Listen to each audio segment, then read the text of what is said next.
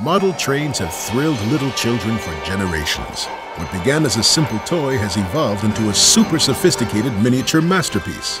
Next, the rise, fall, and rebirth of America's toy train makers.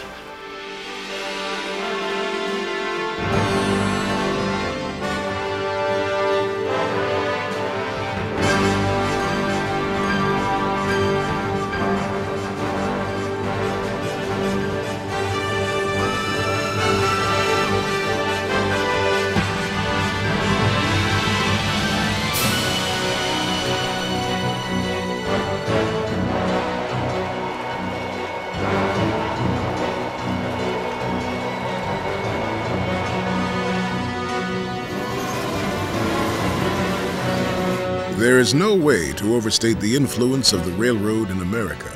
For generations, the process of moving passengers and hauling freight touched just about every aspect of life. The grand drama that was played out at the switchyards and terminals had a spectacular theatrical quality.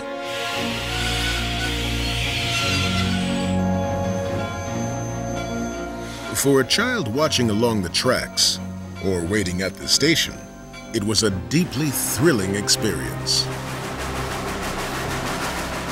It's no surprise then that railway toys, or model trains, appeared almost simultaneously with the real railroads.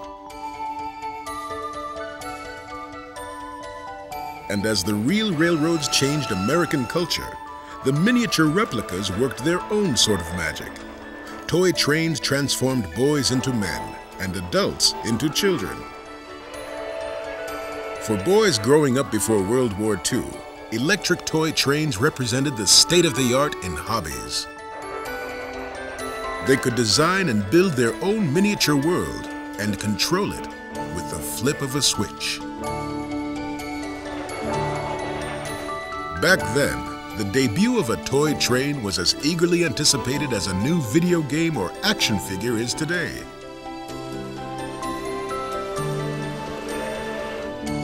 A circle of track with a locomotive and a few cars became as much a part of the holiday as Santa Claus and the Christmas tree.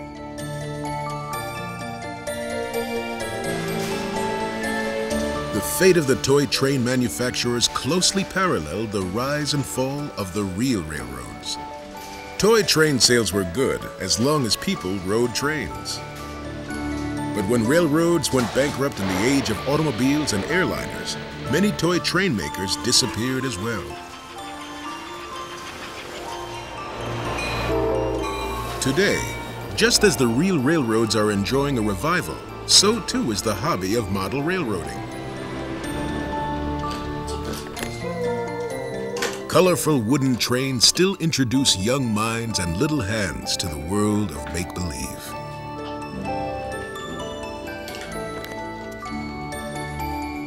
And scale model masterpieces, near replicas of the real thing, are more popular than ever.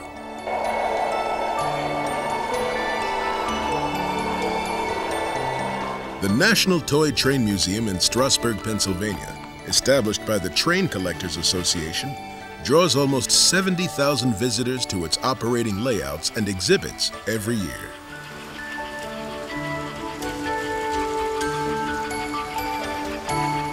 There is even a monthly magazine marking its 10th anniversary that reaches an estimated 75,000 hobbyists, and its popularity continues to grow.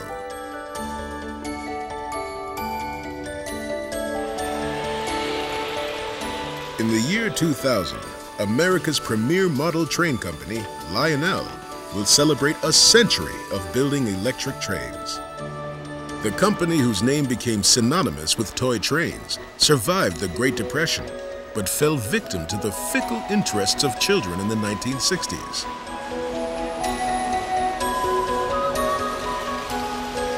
Today, Lionel is back and building on its tradition of innovation to lead model railroading into the digital age.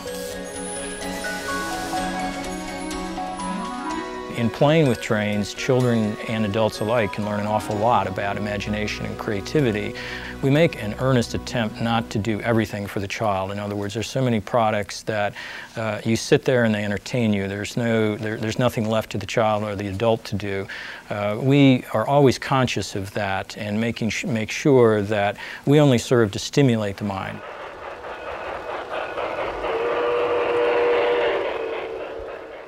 European toy manufacturers were the first to stimulate young minds with toy trains. In the 1840s, the Stevens Model Dockyard Company of London, England, built locomotive models just about a foot long that were honest-to-goodness steam engines fueled by alcohol and water. They called them mechanical recreations and instructive amusements, but their boilers and valves leaked so often, they were better known as dribblers.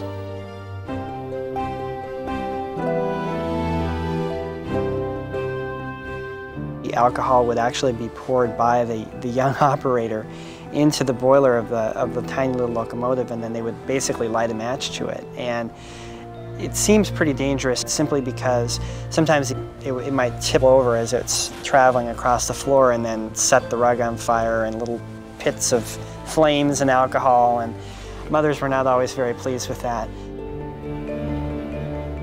American children didn't have to worry about setting the house on fire with their toy trains.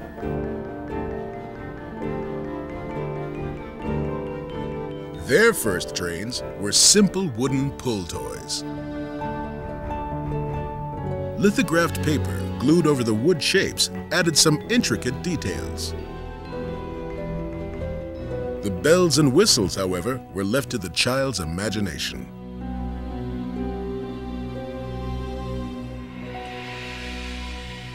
Children also enjoyed trains made of tin. The whimsical shapes and colors of the tin toys were more fantasy than reality. And like the wooden trains, tin trains had to be pulled across the floor with a string. Cast iron also made good toys, Considered the plastic of its day, cast iron was plentiful, inexpensive, and relatively easy to mold into durable trains. In 1874, an American toy builder named Edward Ives, founder of the Ives Toy Company of Connecticut, added spring-wound motors to the cast iron trains that he was making. The little trains, called clockworks, zipped across the floor under their own power. The spring-wound trains worked their magic and won the hearts of little children. The Clockwork Trains established Ives as the first leader in toy train manufacturing in the U.S.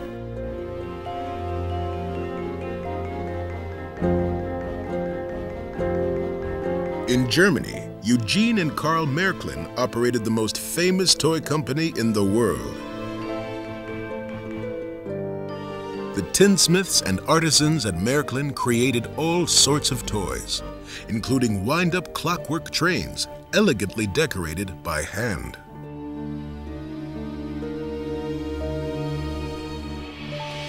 In 1891, at the annual toy fair in Leipzig, the Märklin brothers unveiled a new line of clockwork trains, and for the first time, a collection of beautifully handcrafted stations, signals, and other accessories. What Märklin started to develop was this idea of a toy train system. So that not only were you buying a train, because after all, how many trains could a kid buy? But after you bought the train, then you wanted a station, and then you wanted a crossing gate, and then you wanted a little shanty that went beside the uh, track with a little man in it. So Märklin was sort of developing this whole idea of a train system. Märklin also established standard sizes for toy trains and track based on gauge, or the distance between the two rails. This meant that as long as they were of the same gauge, different trains from different manufacturers could be run on the same track. Märklin uh, was the innovator in terms of helping uh, young hobbyists create layouts with both track, trains, and accessories. They could really begin to create a little world to mimic what they were seeing in real life. Märklin exported its new collection of trains and accessories to the United States and competed with the Ives Company for the attention of American children and the dollars of American parents.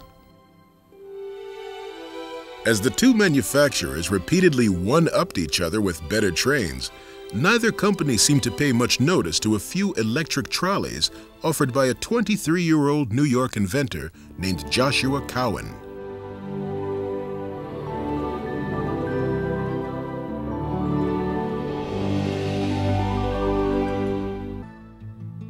At the turn of the century, while the big toy train makers battled each other for domination, a small-time inventor from New York launched his own campaign to win the hearts of American children.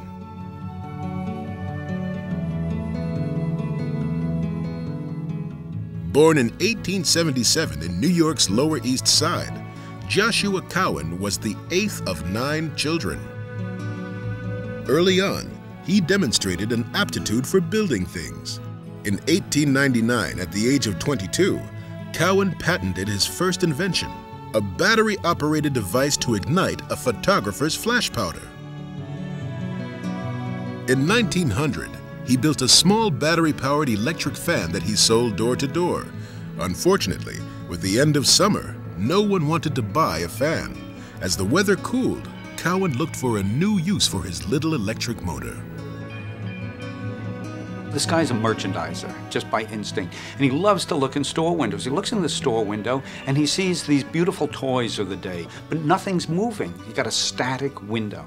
And Cowen goes in to the guy, whose name is Robert Ingersoll, and he says, look, I'll create a little device, it'll be like a cigar box on wheels, and I'll have some track, and it'll go round and round in your window, and it'll draw people's attention to this merchandise you have that's not doing anything, that's just sitting there. Cowen quickly cobbled together his first electric train and set it up inside Ingersoll's toy store. It ran on two metal rails set in wooden ties. Batteries wired to the track provided the power. Cowen called it the Electric Express. Two days later, Ingersoll says to Cowen, he said, listen, he said, all my stuff is still in the window. He said, but I sold that little uh, cigar box train you got me. He said, could you make me another one? Joshua Cowen sold more cars at $6 apiece. He formed a company and gave the firm his middle name, the Lionel Manufacturing Company. Now, Cowen was not the first to assemble an electric train. A small Cincinnati firm named Carlisle and Finch had been selling electric trains since 1896. Märklin had also experimented with electric trains in Germany, but some clever marketing made up for Cowen's late entry into the game. In 1906, Cowen stopped making the two-rail track and announced the debut of some new trains and a new style three-rail track. Although the new track didn't look realistic, the additional third rail had a critical advantage.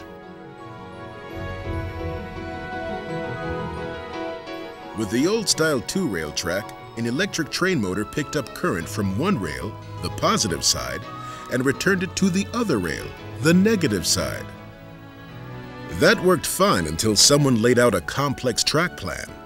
If the track curved back on itself through a switch, the negative rail would contact the positive rail, and this would cause a short circuit. The three-rail track eliminated this problem. The center rail was positive, and both outside rails were negative. In complex track plans, negative rails touched only negative rails and positive only positive. This put an end to short circuits. Cowen's three-rail track revolutionized the hobby. Now, in Cowen's merchandising genius, he says this is standard gauge track. It's two and an eighth inches in, in uh, track gauge. Now, really, that was not standard. The standard was two inches. You might, in fact, have called it odd gauge instead of standard gauge. Cowen's claim that his new trains and track were standard gauge convinced buyers that his products were superior to the apparently non-standard trains of his competitors, and Lionel's sales jumped substantially. Lionel got yet another boost in profits from a completely unexpected source. World War I was a godsend for Cowen's young company. When America joined the war in 1917, German imports to the U.S. were cut off. German toys, including Märklin's trains, disappeared from store shelves, and American trains quickly filled the void. In 1917, as if adding insult to injury, Cowen produced a little electric armored war train, bristling with cannons, to help American boys and their American trains clear the track of the dreaded Hun.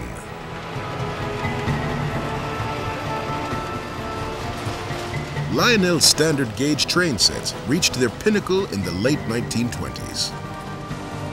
Loaded with detail and plenty of features, the steel locomotives and their passenger cars weighed nearly 25 pounds and stretched almost 6 feet.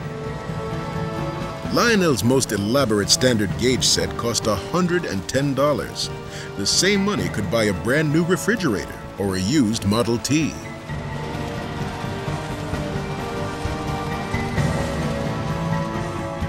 But Cowen had little to worry about. His profits grew and the competition faded away. Ives couldn't keep up with Cowen's aggressive marketing and declared bankruptcy in 1928. Märklin and the other German companies had yet to recover from the First World War. In two decades, Joshua Cowen had come to rule the world of toy trains. The future looked limitless. In October 1929, the stock market crashed and threw the country into a Great Depression. Families that once had money to spend for toy trains didn't have enough for food or shelter. Lionel, like all other companies, was hit uh, bad by the Depression. It really hit hard. So to protect itself from creditors, it goes into what's called a friendly equity receivership, in which uh, Cowen and his people could still continue to run the company, but they have to clear decisions with uh, people from the banks. But too many standard gauge trains were chasing too few dollars.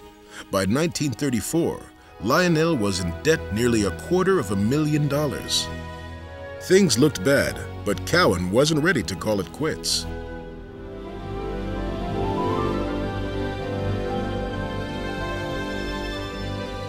Cowen needed to raise a lot of cash to save his glorious line of electric trains. For help, he turned to an unlikely hero, a plucky little mouse named Mickey.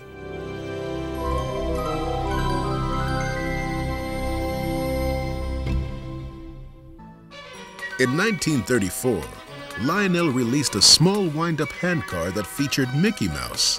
It came with a circle of track and sold for a dollar. Much to Cowen's relief, Christmas shoppers bought over a quarter of a million Mickey handcars. The newspapers had this wonderful story, you know, plucky Mickey comes to the rescue once again, saves toy train giant from bankruptcy. I think the real truth is that while the Mickey car was great and got Lionel great publicity, the thing that they sold uh, that really brought them some money was the M10000. The country's first streamlined diesel train, the M10000, made its grand debut in the spring of 1934. Operated by the Union Pacific Railroad, the M10000 barnstormed the country on a 68-city publicity tour.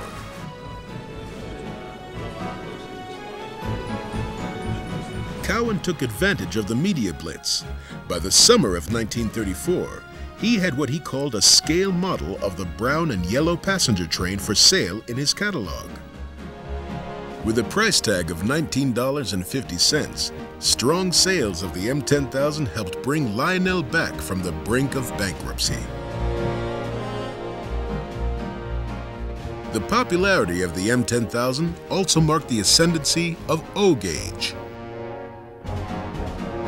O-Gauge track has three rails, but it's smaller than standard gauge track.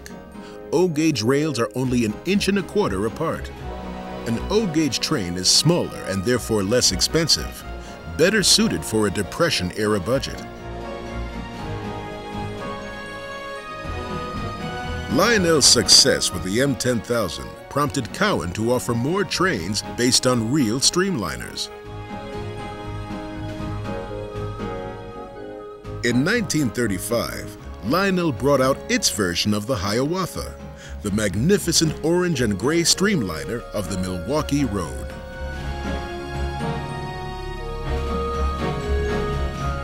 That year also marked the introduction of Lionel's Commodore Vanderbilt, an O-gauge model of the New York Central Railroad's most modern locomotive.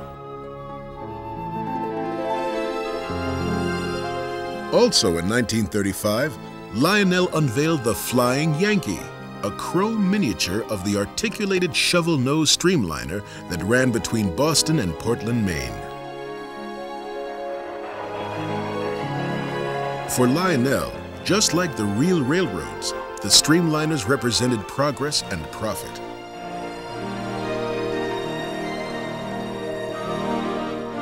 Throughout the 30s, Lionel's catalogs grew more seductive to little boys dreaming of becoming real railroad engineers.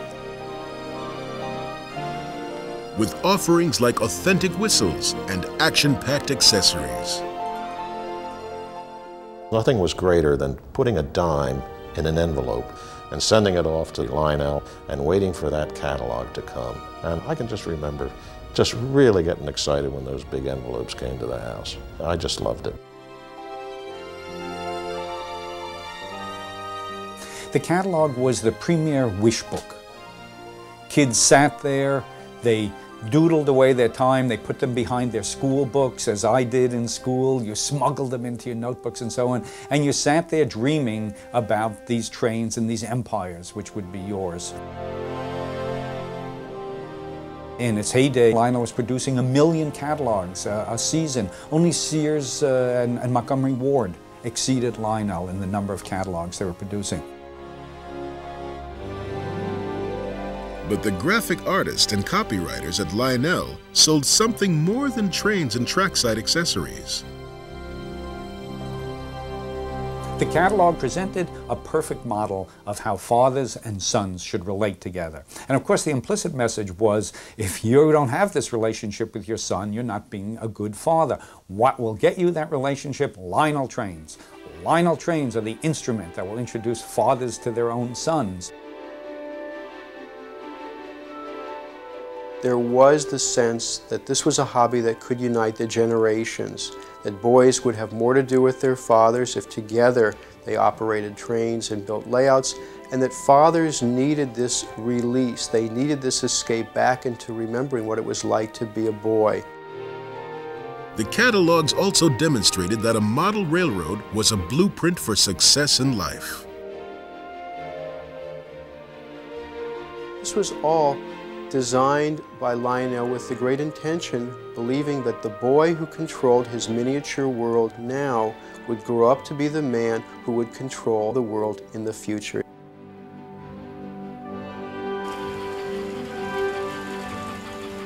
By the late 1930s, more adults were joining the hobby of model railroading, and Joshua Cowen recognized that Lionel needed something to appeal to these more mature buyers.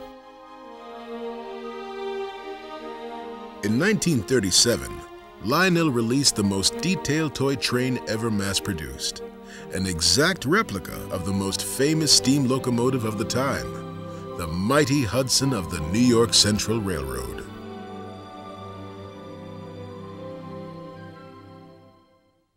It cost $75 for a toy that was a lot of money. But for a scale model, that was incredibly cheap because up to this time scale models had been made in limited runs, a few hundred and so on, and they had cost, you know, in the hundreds of dollars. So suddenly here for the first time we have a mass manufacturer with mass advertising coming up with a train that was really a scale model.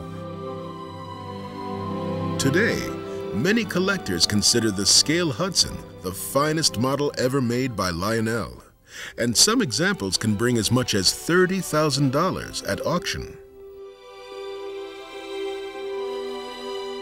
Lionel continued its climb out of the Depression, and by the end of the decade, it was producing 350,000 train sets a year.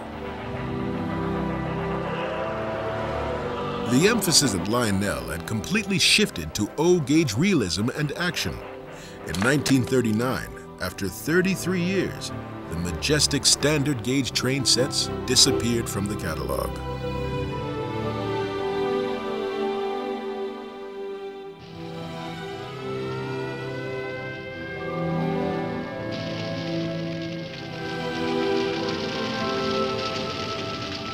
In 1941, Lionel, along with the rest of the country, went to war.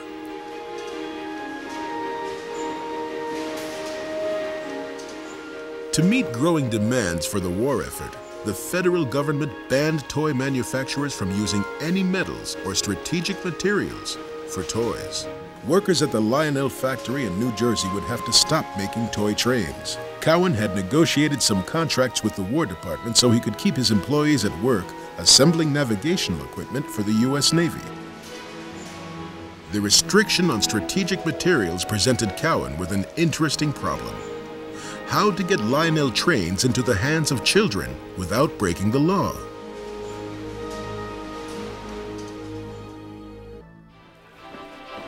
Nothing, not even World War II, was going to keep Joshua Lionel Cowen from making trains for children. If the government wouldn't let him have metal, he'd find something else. In 1943, Cowen came out with the Lionel Wartime Freight Train, a train made entirely from cardboard complete with cardboard accessories, cardboard track, and even cardboard people. It came in a flat box and it said insert tab A into slot A and tab B and so on. It was incredibly difficult to, uh, to assemble. But um, at least, you know, fathers could buy their boys some kind of train. And of course, there was lots of advertising that said, you know, wait, as soon as the war is over, the trains will come back. Meanwhile, play with this paper train. After World War II, Lionel picked up where it had left off. The company continued its pre-war trend towards realism and action. But Joshua Cowen was no longer the president. Just before the end of the war, the aging founder gave his 38-year-old son, Lawrence, control of the company. Lawrence had grown up with toy trains, and there had been little doubt that he would someday follow in his father's footsteps. With his father now chairman of the board, it was Lawrence Cowen's responsibility to take Lionel to even greater heights. The best place to see Lionel trains was at its showroom in New York City. On Father's Day 1946, Lionel closed its famous New York City showroom to children and admitted only bona fide dads a father had to bring proof uh, that after all he was a father. So some fathers brought pictures and uh, they brought letters from maternity wards and so on. Um, the best father of all brought a folded up cloth diaper, which he inserted in the breast pocket of his suit and had dangling out of it to show that he was a father. Whether a result of the baby boom or a post-war desire for the innocence and normalcy that toy trains represented, the late 1940s and the early 50s witnessed Lionel's most productive and profitable period.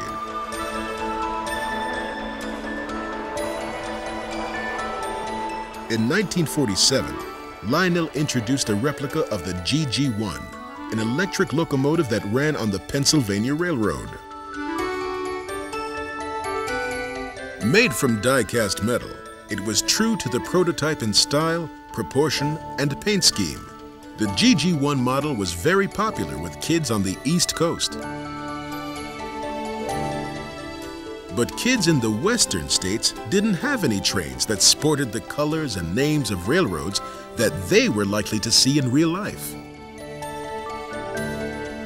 So in 1948, the Santa Fe Railroad paid Lionel $7,000 to paint its distinctive design on Lionel's new F3 diesel locomotive. Lionel estimated that at best, they might make 16,000 Santa Fe engines in the first year of production. But at its peak, Lionel was building 125 an hour. They had exceeded their annual estimate in just one month. The red, yellow, and silver diesel circled many Christmas trees and became the most popular and recognizable of all Lionel trains.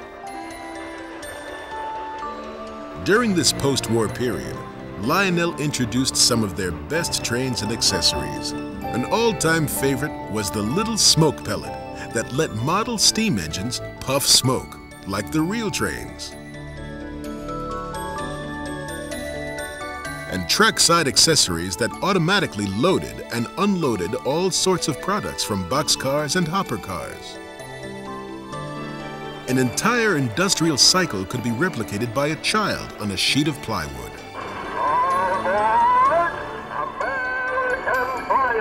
During the 50s, American Flyer presented Lionel with some strong competition. The biggest difference between the two was that American Flyer trains ran on two rail track instead of three rail track.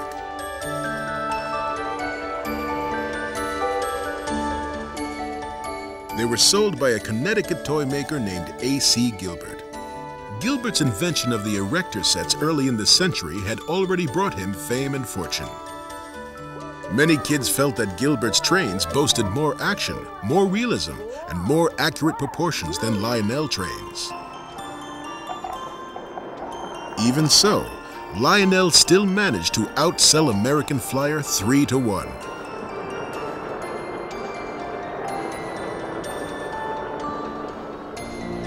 In 1952, Lionel produced more than 600,000 locomotives and 2 million freight and passenger cars.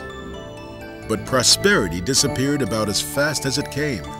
In 1954, sales dipped nearly 30%. The next year, they fell by 50%. Part of the blame was placed on the growing popularity of smaller scale model trains in HO gauge. HO which stands for half O, gave hobbyists more realism and detail than the toy-like Lionel trains. In a desperate attempt to halt the decline in profits, Lionel, once the company that could do no wrong, had to resort to some drastic measures. They realize, hey, we never really marketed to girls. Whoa, you know, the lights go on. So they come up with this insane idea. They'll or they'll offer a train set for girls, but it'll be called the Lady Lionel. It'll have a pink locomotive. It'll have pastel shades, lilac hoppers, and buttercup yellow cabooses and things of this sort. So who in their right minds would buy this? Any girl who wants a train wants it because she likes the realism and, and the reality of it. And uh, no, no man or boy is going to buy a pink train. So the Lady Lionel was a disaster. It's kind of like the Edsel of toy trains. The failure of the Lady Lionel was a sign of the changing times. The death knell for toy trains in America came in 1957 with the launching of the Soviet satellite Sputnik. Kids didn't want to play with old-fashioned electric trains while satellites orbited overhead. In 1959, Joshua Cowen unexpectedly sold his Lionel stock to a group of outside investors. The sale left Cowen's son Lawrence with no choice but to step down as president. The irony here is that the company that had always been touting father-son relationships and trains as a thing that will unite fathers and sons Cowen ends up basically selling out his own son. Why did he do this? Nobody's ever clear. Maybe he was concerned about losing money, and so he sells out. Cowen sold his stock to Roy Cohn. Cohn was Cowen's distant cousin, but was better known as Senator Joe McCarthy's chief legal counsel during McCarthy's investigation of communist activity in America. As the new majority shareholder in the company, Cohn selected retired Army General John Medaris to replace Lawrence Cowen as president of Lionel Trains. Medaris had served as commander of the Army's Redstone Arsenal and supervised Wernher von Braun in the development of the American satellite program. Medaris seemed the perfect choice to lead Lionel into the space age send profits back into the stratosphere. And Lionel starts coming out with this huge line of missile launchers, rockets, exploding boxcars, uh, helicopter cars, and so on. In a way, they're making them more of a toy. They're going back to sort of play value. But truthfully, uh, they're taking away all of the values that the trains had because now the trains are an instrument of uh, death, destruction, violence, and so on, and the trains had been anything but that in the past. Now, from the top secret car barns of the Lionel Corporation comes the most advanced military train ever developed. It's the new Lionel Minuteman car. It looks like an ordinary freight train. And the Minuteman fires. Enemy target destroyed. Mission But Lionel's misguided plan to heat up profits with Cold War toys completely missed the target. Watching a satellite is fun, but launching your own satellite, that's the most fun of all. Lionel Satellite 3519, ready for launching. Launch satellite. Off she goes into the sky. Lionel's space and military trains didn't reap the anticipated profits, and by the mid 1960s, the line was dropped. In 1965, at the age of 88, Joshua Cowen passed away. His final years spent watching his once beloved toy trains fall from favor. The 1970s were a low point for Lionel. The realism and accuracy of HO scale railroads drew more model train enthusiasts away from Lionel. In a desperate search for a successful formula, Lionel changed hands a number of times.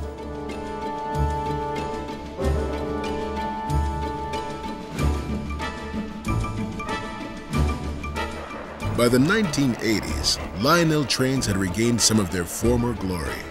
And thanks in part to baby boomers looking to fulfill childhood dreams, they had won back a great deal of their popularity.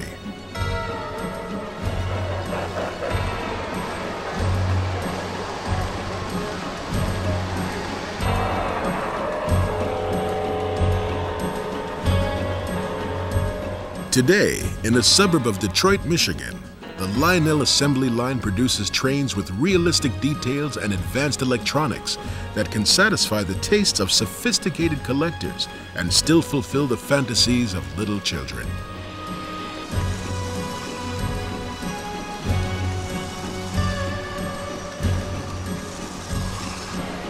The new Thomas the Tank engine can be seen as a 90s version of Lionel's irresistible Mickey Mouse handcar of the 1930s.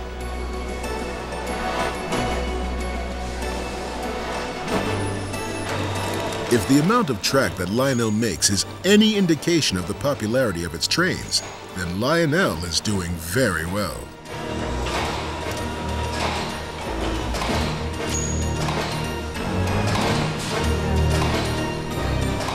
No one has the exact numbers, but the employees at Track Assembly, members of the United Auto Workers Union Local 417, estimate that each year they put together enough track to circle the Earth twice.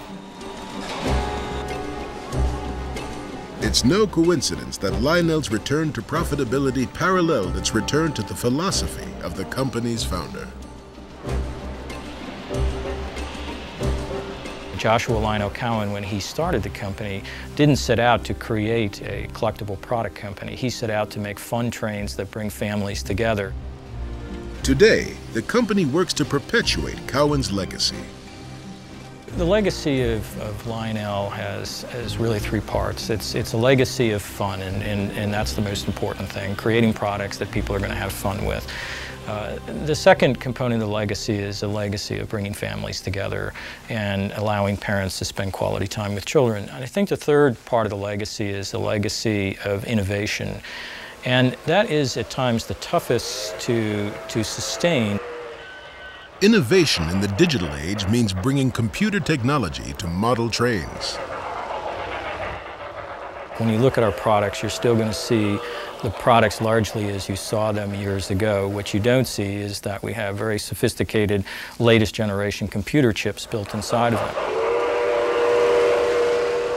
When you blow the whistle on one of our uh, engines, for example, you, in most cases, are listening to an actual digital recording of the real-life counterpart to that model train. We actually send sound engineers uh, out to a rail yard or out to a museum, if it happens to be an older train, to actually record uh, that train, to record that whistle, to record that horn, to record the sound of that train running, even the sound of its brakes screeching. We also use digital technology to give each train its own digital identity so that we can communicate with each individual train and tell it what to do. In the summer of 1997, Lionel publicly demonstrated a prototype of a new way of sharing the fun of toy trains. They mounted a miniature television camera and tiny stereo microphones in the cab of one of their locomotives. The view from the cab gave the operator an unprecedented way of experiencing the miniature world. The signal from the camera was also transmitted live over the internet through the World Wide Web.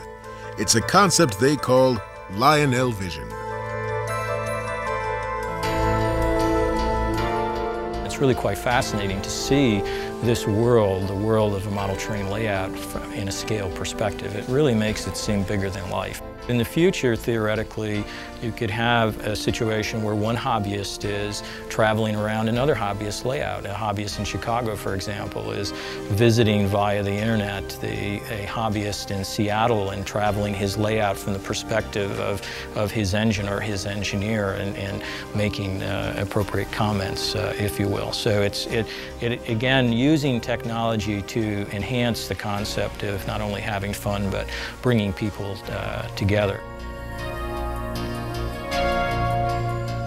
I think the hobby is undergoing a change, but it's a very exciting change. It seems to me that more people in the hobby are asking, what can I do with my train? The important point there is to give them ideas of what they can do, to teach them how to build layouts, to teach them again how to play with your trains.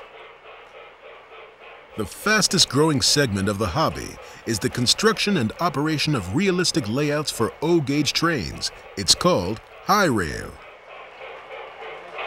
The trains run on typical O-gauge three-rail track, but everything else is more detailed than on traditional toy train layouts.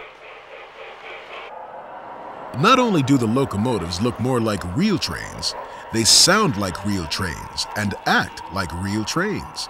It's behavior that high rail modelers call prototypical. It becomes a challenge to see how real can we make a miniature of anything look, whether it's an airplane, a fire engine, a train. Let's be prototypical. Let's make it exactly the way it really looked then or today. This layout recreates a day in the life of Southern California railroading during the 1940s and 50s. For visitors, it's more than a showcase for trains and scenery. It's a history lesson what's known in railroading as the transition period when steam locomotives were disappearing, diesel locomotives became the major means of pulling trains.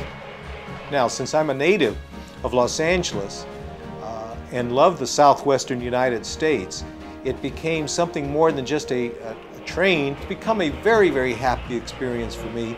And I continue to live that experience by studying the history of that period.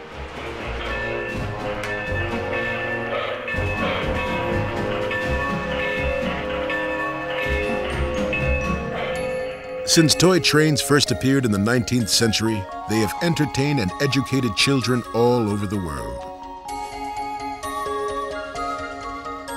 Toy trains narrowly escaped extinction on a number of occasions, but now they prosper in the age of computers.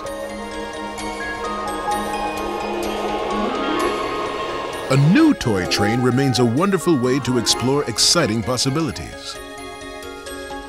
An old toy train is a time machine, a way back to the world of father and son railroading. You can't go back to your childhood. You can't be a little kid again. You can't be looking up adoringly at your father. But at least through the trains uh, is, is a way of acting that out again, of holding on to it. The trains are a tangible reminder of what was. And you hold this little boxcar in your hand and everything comes back to you. And I think it's wonderful that that boxcar still exists. So sort of by laying on of the hands, I can feel those days again.